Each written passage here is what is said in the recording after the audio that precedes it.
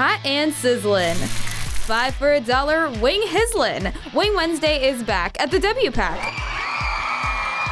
Tomorrow from 11 till 2, snag your wings from a selection of five fresh flavors honey hot, barbecue, Old Bay, sweet Thai chili, and garlic parmesan. Wing Wednesday, tomorrow only, get them while they're hot. Use your dining points, flex, credit, or debit card.